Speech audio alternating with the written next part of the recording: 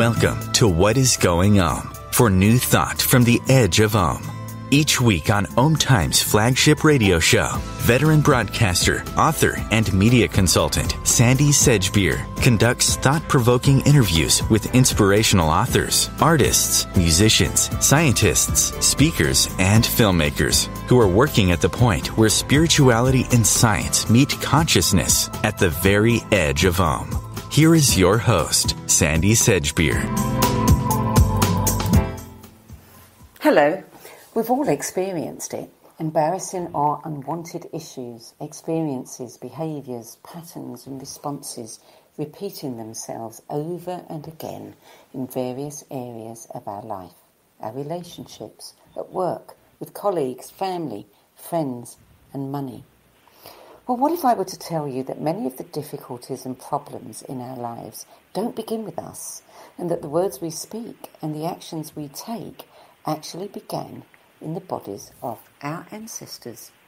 Judy Wilkins Smith is an international organisational, individual, and family patterns expert, a systemic coach, trainer, facilitator, and motivational speaker.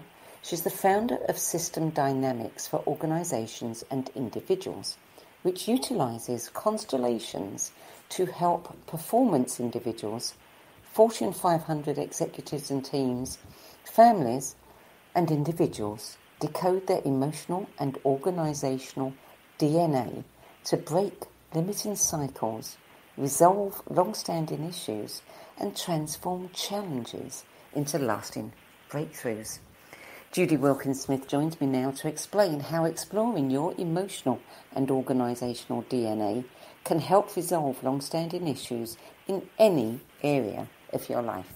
Judy Wilkins Smith, welcome. Hi, Sandie. It's lovely to be with you this morning. Good to have you here, Judy. So now, tell me, you, we don't just inherit our physical DNA, we also inherit our emotional DNA, and that's where many of our difficulties begin. Tell me more about that. Sure. Yes, that's exactly right. And it's something that bears repeating. Yes, we do not just inherit our physical DNA we also inherit our patterns of thoughts, feelings, and actions. And I call that your emotional DNA. And uh, of course, this comes through generations, multiple generations of thoughts, feelings, and actions in response to events. So the decisions that we make about those events begin to create a language, begin to create sets of thoughts, begin to create feelings and actions that become mindsets and patterns and eventually become the truth. Only they're not the truth, they're your truth. And you can change that anytime you want to. Okay, so how far back does this go? Can this go? Wow, all the way back to the beginning, I guess. Um, typically, we look in situations, we'll look at two to three generations but with some mega events, you'll see they go back many, many, many, many generations six, seven, eight generations. And as sophisticated as we are, we still get our information passed down through by by watching others, by what listening to what they say, by modeling our actions on their actions. This is the way that we are in our families. Even when we don't know those families of origin, if we've been separated at birth, you will still find that there are inherent patterns of thoughts, feelings, actions that travel down through those generations and express through us. And of course, the ways that they express through us often are in our limitations. Now, that, that's not the only way. They can also express as profound strengths. But most often, when I see somebody, they've come to me because they're feeling limited, because they're feeling stuck, and as we look, what we find is you're not bumping necessarily just into you, but into your whole system. And the beautiful reason that it comes through to you is that it's time for it to change. You've now become too big for that smaller box. And so the irritation, if you like, or the stuckness, is really a profound way of saying, hey, wake up. It's time for you to move to something bigger, and it begins with you. And you say that if we can learn to decode this, we can transform our lives. Now, as you're saying that, I'm immediately thinking, well, that's torn it because now you've told me this. I have to change because if I don't, I'm hand, handing on these issues to my children and my grandchildren, and I don't want to do that. Exactly, exactly. In fact, people will come to me and say, Well, I don't want to do that. And I say, That's fine. I can wait 10 years to see your children. Uh, so, yes, you're exactly right. the work you don't do is going to pass on to the next lot. But here's the piece that's even more important it's not just do your work.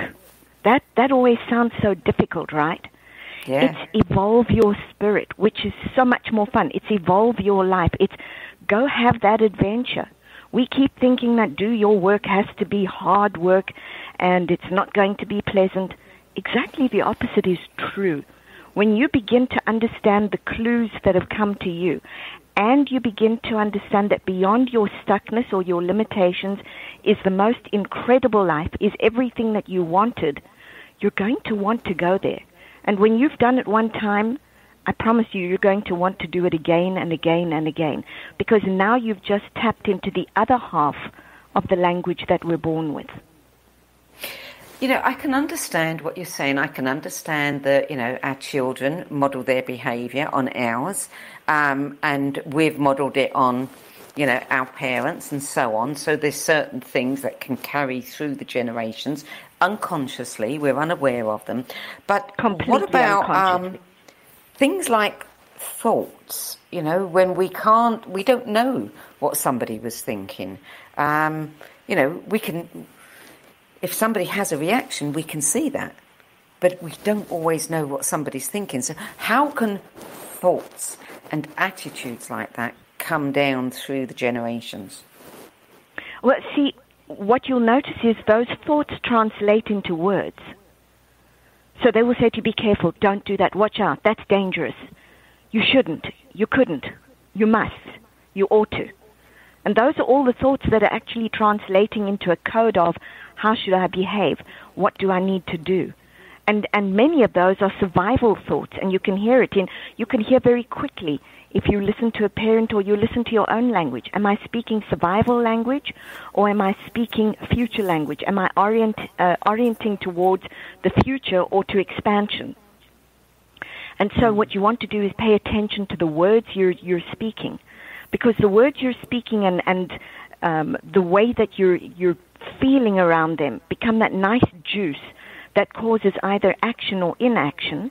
So now you've got a beautiful alignment, right, um, of these thoughts, feelings, and actions, and that creates your limited world or your expansive world. And it's literally you who is creating it, but very often in response to, I want to belong in my family or my family system, so I must follow the following rules. And those following rules are all of the sentences that you hear, all of the reactions that you see and experience, and all of the things that you do to stay aligned with that system. Don't be loud, don't be rude, don't be greedy. You, you also talk about this kind of unconscious loyalty. Even if we might not like something, there's an unconscious loyalty to our parents, and so we kind of adopt it regardless. Absolutely. And here's how it looks. Um, systemically, we will often tell you that you're either going to bond overtly or covertly to your parent. When the overt is not available and strong, you will still find a way to bond, and so suddenly you find that you loathed the alcoholism in your mother that you are now repeating.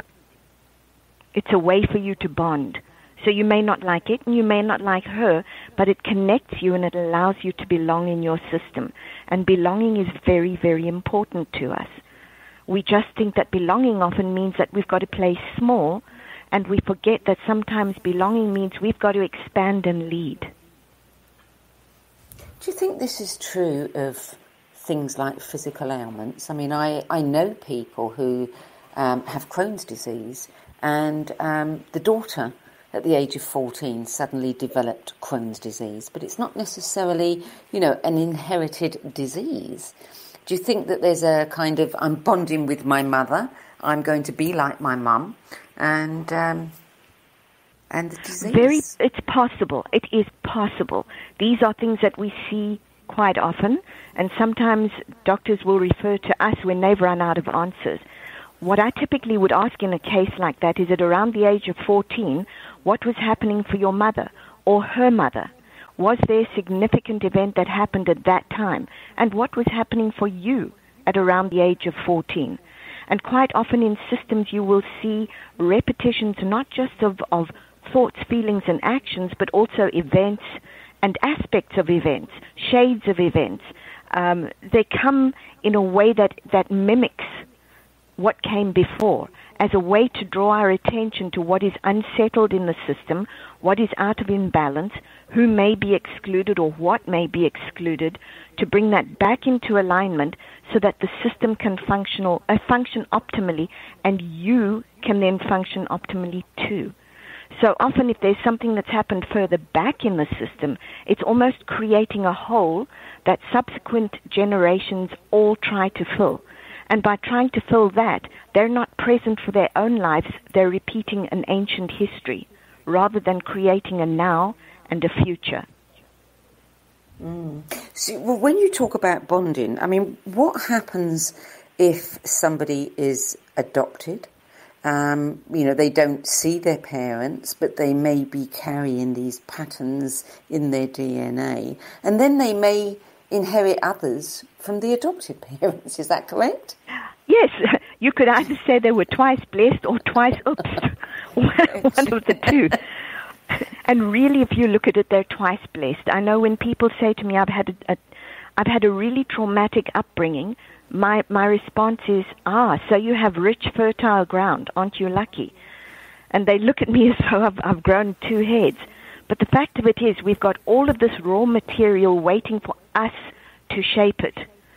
Instead of reacting and repeating prior patterns, when we start to shape it in our own way, and we know or learn how to do that, it becomes super interesting. So if you've got from from adoptee material and your bio parents, your chances are you've got you've got a double helping. Yeah. I mean, it might, yeah. is it harder to unravel this if you've been adopted and you have n- no knowledge of your parents at all? No, actually. I've worked with people who have absolutely no knowledge of their parents until I start to ask them, How are you different to your adoptive family? Tell me everything. Tell me all the physical pieces. Tell me the emotional pieces. What do you have that's so different? Where do you think it came from? It didn't just happen in a vacuum. Well, I've always had that, so where do you think it came from? So if we don't have specifics, what we do have is symptoms, and we can work with either. And both are very rich ways to look at, to look for the gift, to reframe what's trying to grow, because there is a problem is never a problem until you make it a problem. It's also only a problem once it's outlived its solution. So once we start looking at the problem as the gift, everything shifts. Because the minute you look at that, you're open to seeing what else does this have to offer me? How can I speak about it differently, think about it differently, feel about it differently? What different actions can I take? And so, of course, here we're getting into the neuroscience of um, your neural pathways. We know that with a trauma, you can immediately lay down a neural pathway with all sorts of pieces that are very dramatically laid down because of the impact. What we don't realize is you can do exactly the same thing when you do the opposite. And if you look at athletes or high performers, this is what they do. They align the, the mind, they align the heart, they align the gut, and they get completely coherent with a new set of one thought, one feeling, one action that then becomes their reality. So, no, it, it really isn't that much more difficult. It may be interesting to decode, but it's not that much more difficult at all. Mm. You said you said that there are there are benefits to these and this work, and that we can actually turn some of those things into a positive. You refer um, in your book, you talk about a treasure chest of possibilities. I mean, how can you turn, for example, if somebody's got poverty consciousness, um, mm-hmm. how can you turn that into uh, a benefit? Oh my goodness, yes. So you're sitting with this great poverty consciousness, beautifully inherited from all sorts of generations. The beauty of that is when you can look at that and go, thanks to all of you who came before me, I can look at the way I don't want it to be for me. So how do I want it to be for me? And here's here's the pivot, right? Because the old pattern is the poverty consciousness.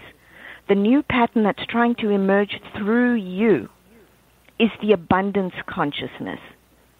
So now instead of looking at money in a certain way and going, hate it, it's greedy, it's nasty, I'll never have it, I'm not worthy, we begin to shift those thoughts and feelings. In other words, we reprogram our library and, of course, our brain to, so what do I want? And this is the beauty of this work. In the frustration lies your affiliation many times to your ancestry. But in your dreams lies the promise and the legacy you give to your system. And that begins with you. There is great permission from the system behind you. In fact, it is saying, for goodness sake, expand so we can too. How did you discover this work, Judy? Hmm. Um, I discovered this work at a time when my father was killed in this country. We'd moved across to this country um, with all sorts of great thoughts and promises. He was killed here, and it was either write books or go crazy. And I decided going crazy didn't sound so good, so I went for the books. Um, and I was doing a particular piece of research, bumped into uh, somebody else who was teaching this work, and they said to me, Come learn the work and I'll help you with a book. Long story short, I went and learned the work, but never got any help with the book. Um, but it, it that then took me into the world of constellations. I think sort of about two years in, I began to realize that with a large majority of constellations, where we focus is what is the cycle that is there? How do we break that limitation? And how do we bring it to balance? And it began to strike me as people asked me, okay, but now what? that there was a very strong transformational component to it that was itching to be explored. And uh, I also began to notice that we spoke two languages the language of ancient history and the language of possibility. But most of us are raised with the, the language of ancient history. That's how we think we're evolving. The language of possibility and transformation was sitting right there, and epigenetics and neuroscience really helped bring that in for me. And so that's where I, I work a lot these days. So that's how I came to it. And you say that um, these relationship patterns can can show up. They can sabotage or launch a career. They can influence our personal and our professional relationships, including things like our team and leadership capabilities. Can you give me an example here? Sure. Um, there are a couple of, of good ones. If you have somebody who all their life has been told you're not competent, you're not smart enough, you're good, not good enough, really you shouldn't be doing this, and they become a leader, what they're doing is they're sitting in two parts, and you could see it show up. So one part of them says, I'm going to do it differently. I'm going to be that team leader. But if they haven't done the work on, you're not good enough, you're not smart enough, you shouldn't be doing this, they do a beautiful U turn right at the point of success and wonder why. And suddenly you may have what we call a whirlwind leader, somebody who looks like they're a messiah, they're always solving problems, but nobody realizes that they're actually creating them too.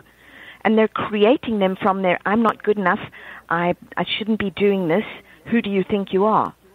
situation. So what happens is they they're then coming from the um, imposter syndrome point of view. And when I work with leaders in organizations, one of the first pieces of work we do is to see, are you an imposter? Because once we can identify that, the very next big insight is, no, you're not. You're actually a pioneer.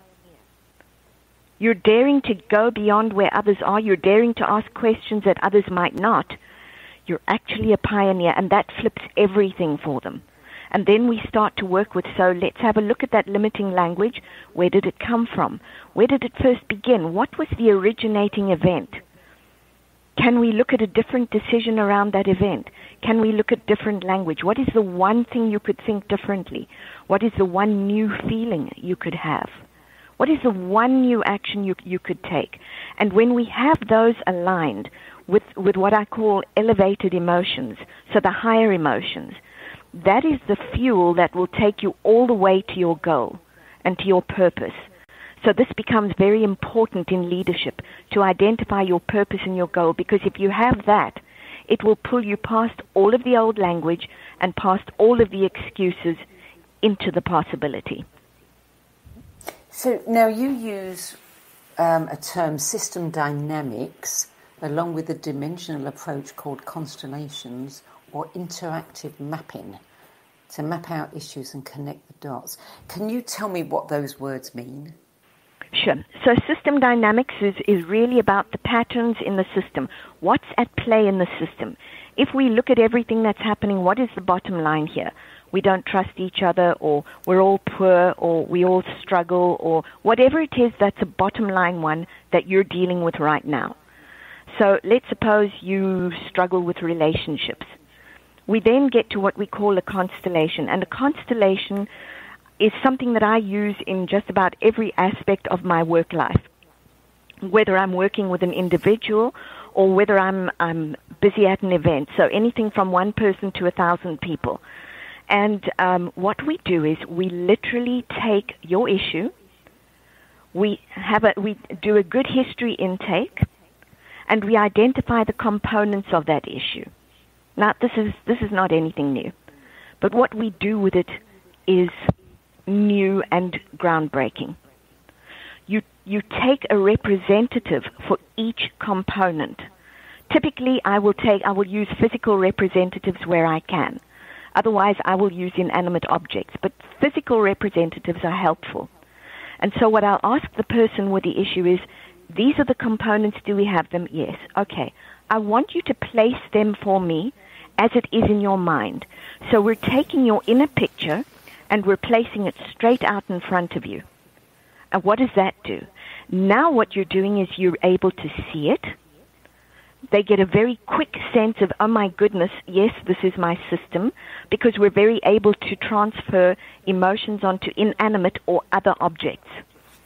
So now they, they're able to see it, feel it, they're able to walk in it and interact with it. And by me simply asking systemic questions like, why is she facing out? Why is he facing in? They seem closer, those seem more distant. What's happening over here? Why is he looking down? The client begins to see and interact physically with their issue. So, because they've got multiple senses interacting, they're able to make much deeper connections and insights. They're able to actually see things they hadn't. What are the relationships between? Where are the tensions? What is the possibility? What's trying to evolve? What's blocked? And you literally see those, hear those, touch those, sense those in the moment. And of course, that starts to create a shift in the body and in the mind. And if, if people are aligned with that and they allow themselves to, to understand what's happened and to understand the possibility, what you can often see in a constellation is insight, resolution, possibility, or evolution. And many people will call that transformation. They're now no longer thinking the same thought, feeling the same feelings, or taking the same actions. So the same outcomes are literally impossible. Hmm. You're listening to What is Going Om. I'm Sandie Sedgbeer, and my guest today is organisational, individual, and family patterns expert and motivational speaker Judy Wilkins Smith, whose system work with constellations is helping Fortune 500 companies, executive teams, and individuals break through repeating patterns and limiting cycles that create difficulties in many areas of our life. Still to come, how to uncover the inherited patterns and hidden loyalties that determine your choices in your relationships. We'll be back with more Judy Wilkins Smith after the break. The future of Internet radio is here. Om Times Radio, IOM FM. Being a radio host on IOM FM allows you to build your show on a rich platform with the power of the internet to fulfill your outreach goals and connect with a very specialized and global online audience, unlimited by time and distance. Om Times Radio will provide you with web relevance, a recognizable conscious brand, and with the standard of excellence that has accompanied every single Om Times endeavor. Host your show with Om Times Radio Network. Vox Novus, the new voice. Vox Novus, the new dimension. Vox Novus, thought and movement leaders who will share from their experience and offer tools to help us navigate our rapidly changing world. My name is Victor Furman. Join me every Thursday at 8 p.m. Eastern on Om Times Radio for Vox Novus, the new voice. Mental health. Most people think it means mental illness. Most people are wrong. Mental health doesn't apply to just some of us. It applies to everyone. We're all susceptible to anxiety and depression. They're human conditions. And no person should ever feel embarrassed, ashamed, or be discriminated against for being human. Cracked the podcast strips away the shame, fear, and stigma by expanding the conversation into areas less often visited.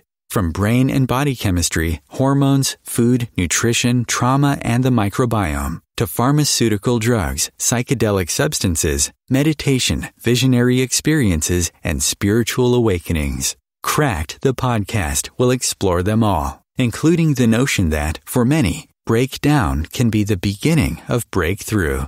For in the words of singer-songwriter Leonard Cohen, there is a crack in everything. It's where the light gets in. Cracked the podcast, Slaying the Dragons of Mental Health. Join co-hosts Sandie Sedgbeer and Rebecca Shaper on the first and third Thursday of every month at 12 noon Eastern Time. Coping 19, brought to you by CDC and the Ad Council. If you're feeling increasingly lonely right now, you're not alone. It's totally normal. Even though we may not be able to get together in person, connecting virtually with friends and family still gives you a chance to interact with people and may help raise your spirits. Join a virtual book club, set up group text chats, or online video coffee breaks with coworkers. Find more self care and coping tips at coping 19.org. Welcome back. Judy Wilkins Smith, I, I can understand what you said before the break about the the constellations, the representations. Um, the thing that absolutely fascinates me um, is that the, when you have people, uh, real people, um, as your representatives, those people who may not even know the person um, will actually begin to reflect things as if they're tapping into whatever that issue is in, a, in their own way and highlighting things that may not have been obvious before. How are they doing that? Wow. Okay, so this is this is a big subject, um, and it's one that, that gets tackled in various ways. In the in the book, I talk about it quite a bit.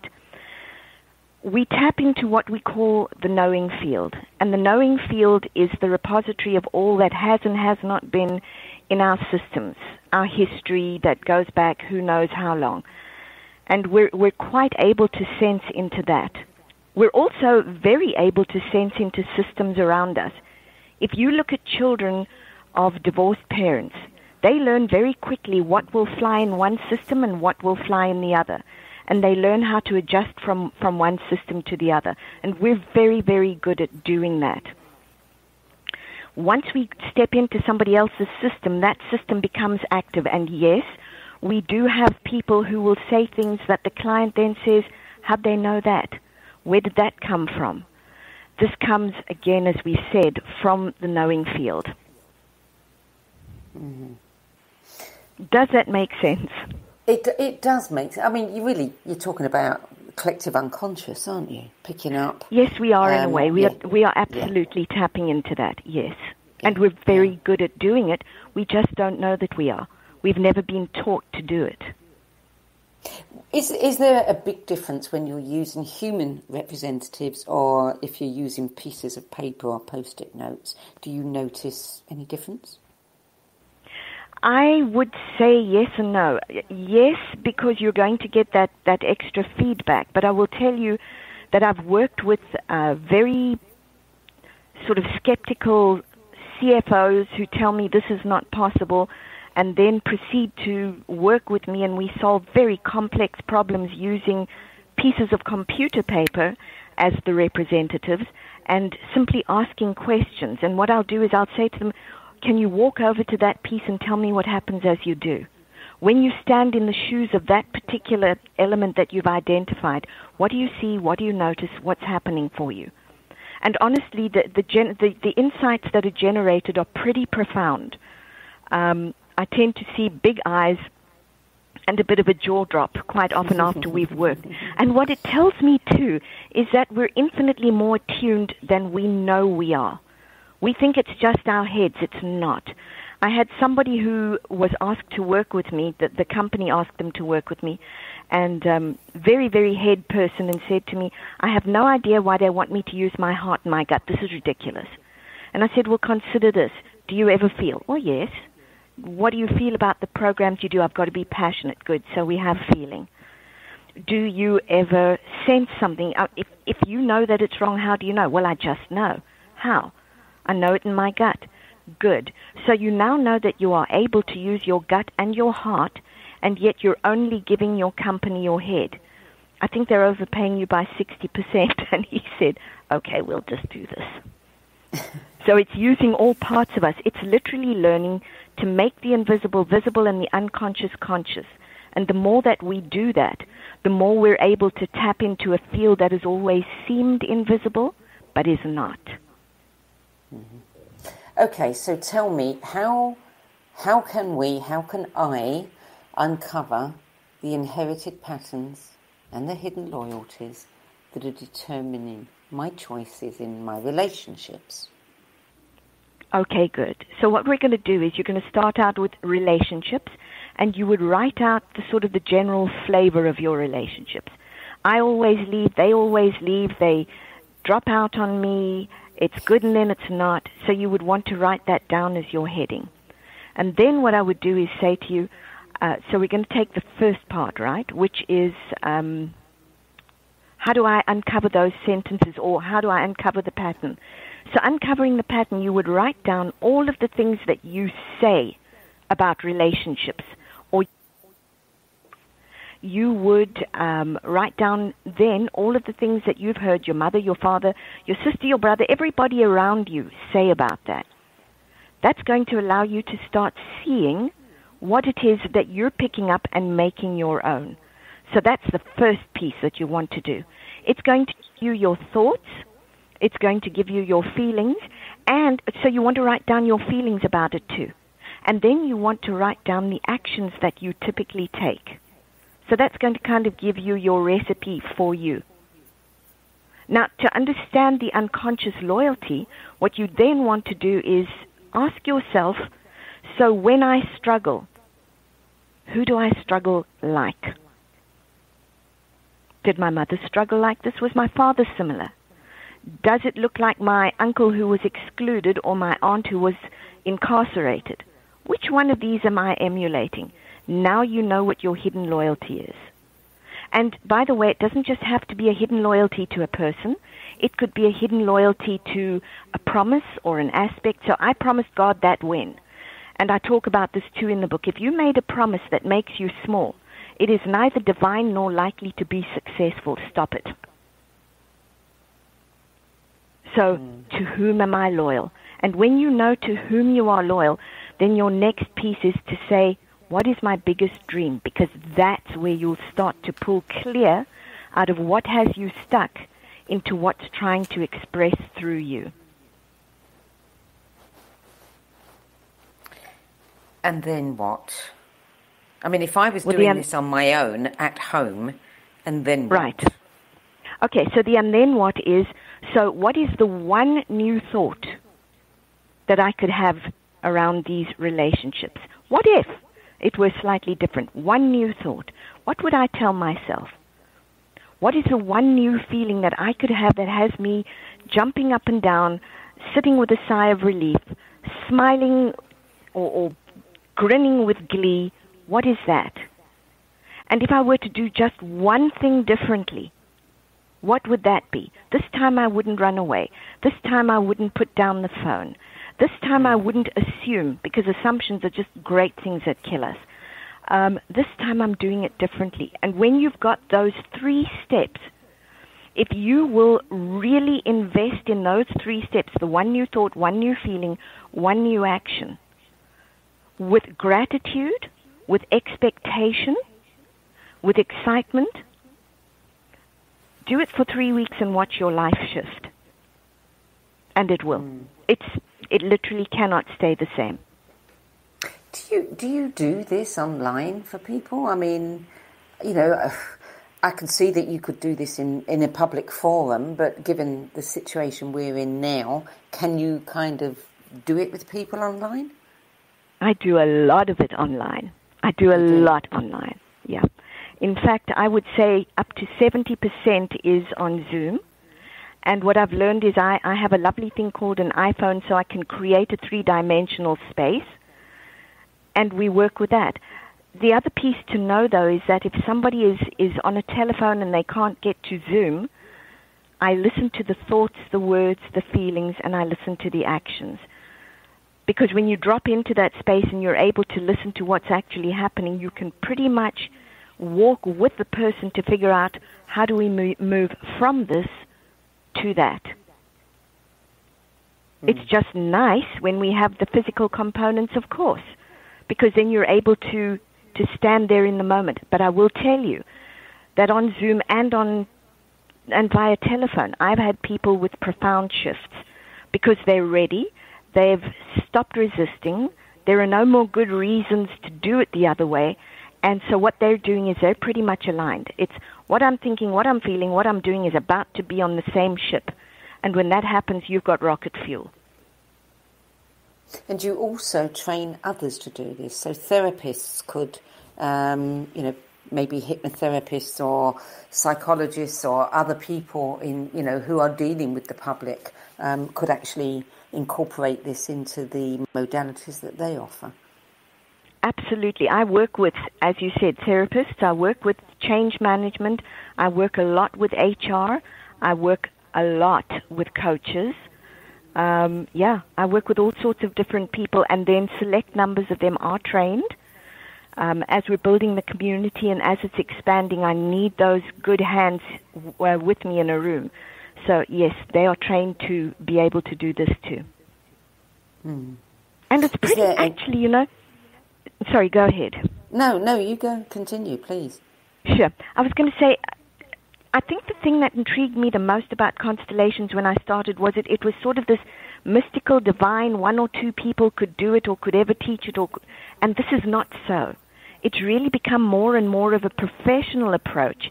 And, and that's very much the way I approach it. Is it logical? Is it teachable? Is it achievable? Is it communicable? Is it useful to both a career and a private person? And how do we use that? And so that's what they train to do. Mm. What did you? I mean, when you were learning this, obviously you did it on yourself. What did you discover? Um, I discovered all sorts of interesting things. I discovered uh, my library of being small, which was exactly what led to if you if you go to my website, it says how big are you willing to be, and that's a question I ask all of my clients because it's it's truly the first time when you say yes that you are service, in service of the universe and properly taking responsibility for growing your own life. And I realized that I was very much responding to the system.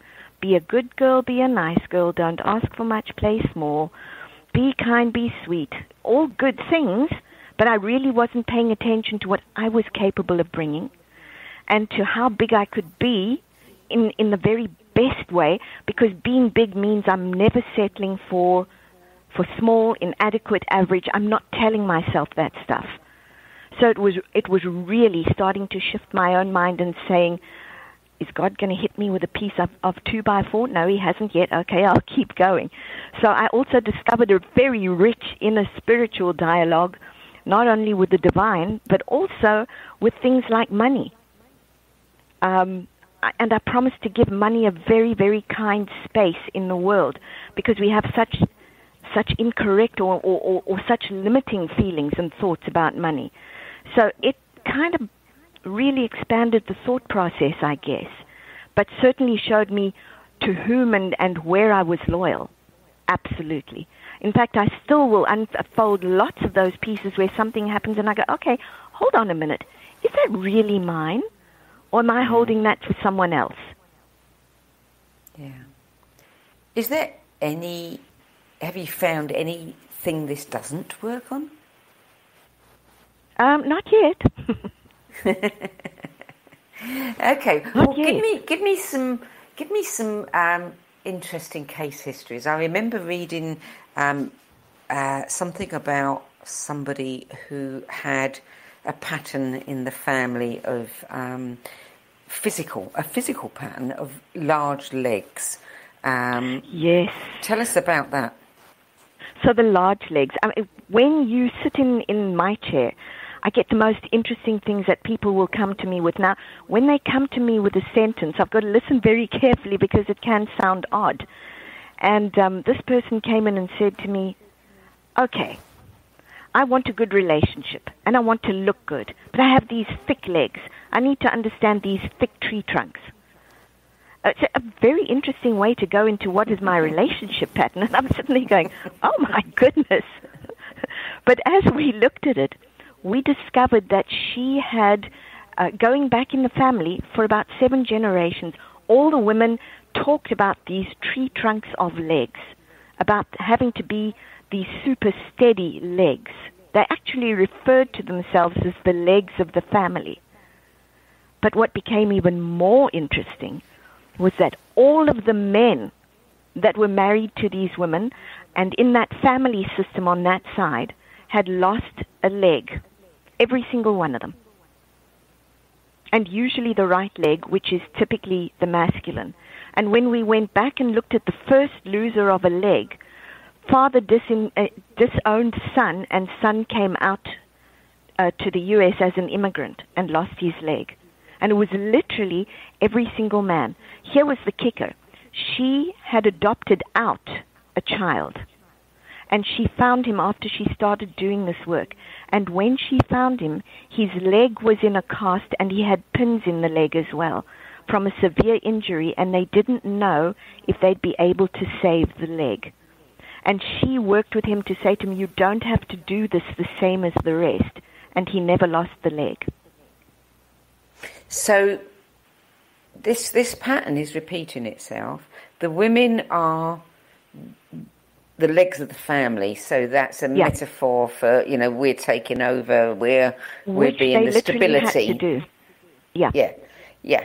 But then other members of the same family then have partners who come from different families who lose their legs. Yep. Wow, How wild is that? How wild that is is that? And that, here was the other wild. Piece. Yeah, here was the other piece. When I said to her, in a relationship, so think about the legs. I said to her, in a relationship, who is dominant? She said, oh, I carry the weight. I do mine and theirs. I said, of course. There are your tree trunks. When you start to be okay to take your place and not both places, this may shift for you. You mean it would actually shift her f- physiology? That the legs It can not shift the physiology because now she doesn't have to carry that weight and that shape to be able to survive anymore. Did you keep in touch with her? Did you find out? I kept in touch with her for a long time. She doesn't have, or didn't have, she's passed since, didn't ah. have tree trunks. Wow, interesting one. Very interesting. What other um, really astonishing things have you come across? Um, you know, I, I there are so many. Um, lots I of bet. physical ones. Pardon? I said, I'll bet. Yeah, um, many physical ones where people, once they realize they don't have to hold on to the physical component, that, that gene expression no longer has to happen and things will shift physically. But I think also understanding things like, ju- like the language we use. I think I'd, I'd shared with you before about a girl who came in or a woman who came in very upset because she couldn't connect to her family because they were all very non emotional and she was the opposite. And she said, You know, my brother was really, really good with them because he was very kind of dispassionate and detached, just like they were, very contained, minimal emotions. And she said, And I'm so different.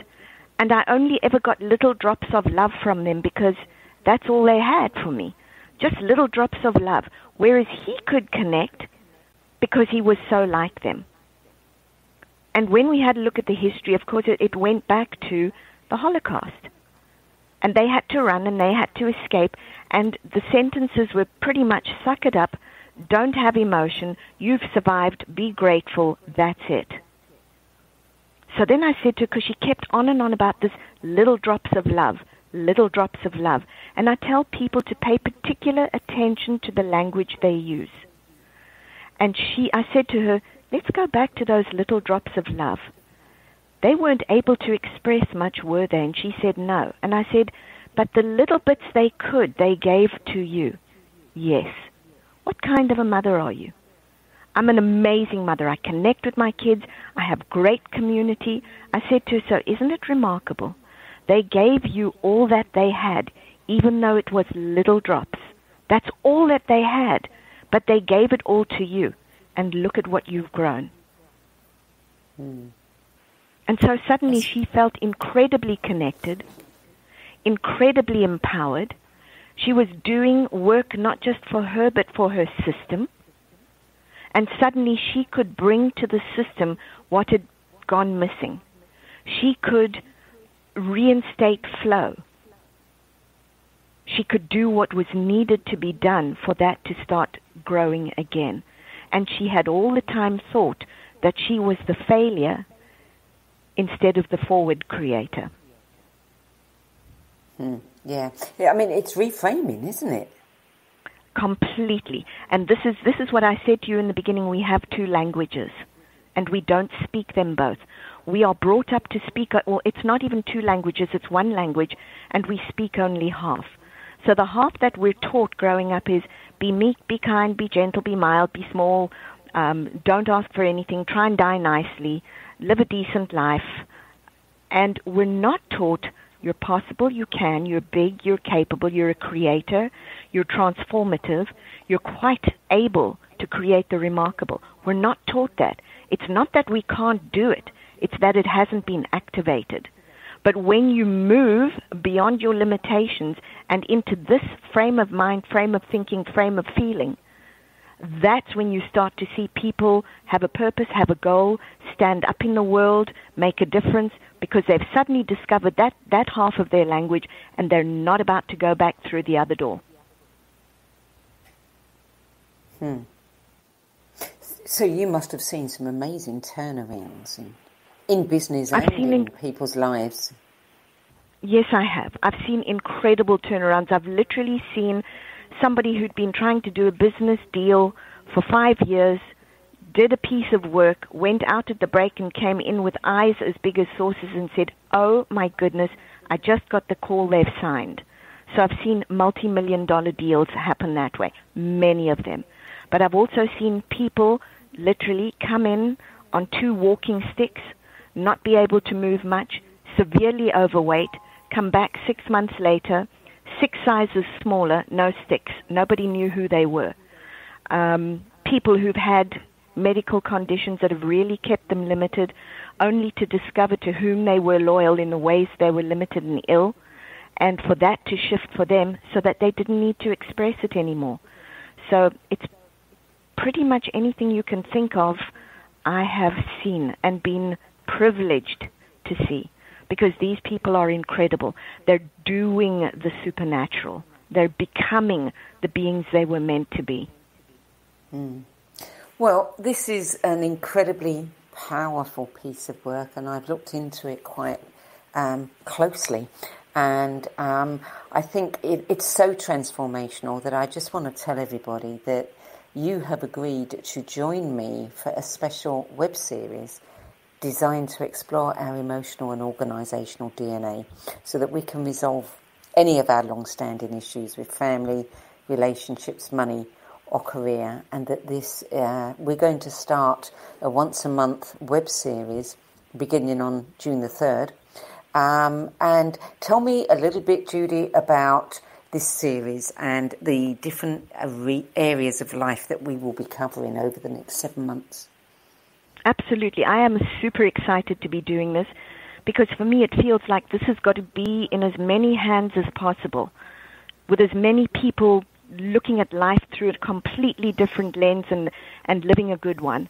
So yes, we will be we will begin with emotional DNA. What is it? How do you inherit it? What do you do with it? How do you grow it? So we'll really pull that apart. We'll look at what are systems because we really don't know the ins and outs of systems and and people who, who come to this will begin to know their systems intimately. What are the systems? What lives there?